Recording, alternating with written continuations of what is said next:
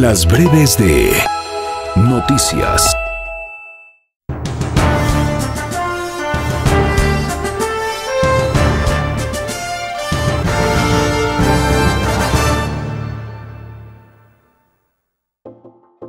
Geologists and geophysicists of the National Autonomous University of Mexico announced the discovery of a new cenote beneath the Castle Pyramid at Chichen Itza. According to the opinion of the archaeologist Guillermo de Anda, this new information could bring answers to questions regarding the construction of this enigmatic building.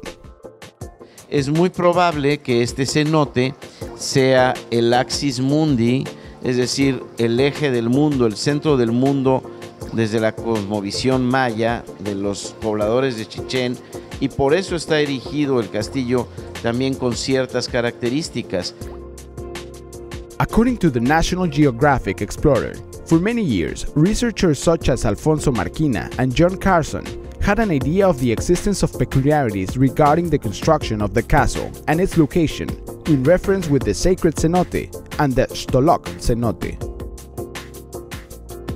Estoy casi seguro que los antiguos mayas sabían de la existencia de ese lugar y por eso construyen el castillo encima. Ni siquiera lo construyen totalmente encima, tienen la, el cuidado de no abarcar toda la bóveda, pues tal vez con temor a que se les derrumbara. Los mayas no dejaban nada a la casualidad en cuanto a sus ceremonias o la edificación de un edificio.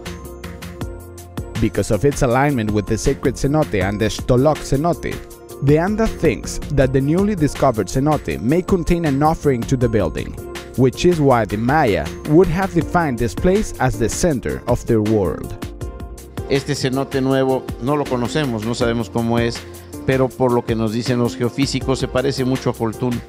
Es, es como otro Holtún, una gran bóveda con agua abajo, eh, que fue muy probablemente sellado ritualmente por los mayas. Si no me equivoco, en mis hipótesis, la próxima temporada los geofísicos encontrarán algún túnel y alguna entrada sellada al cenote.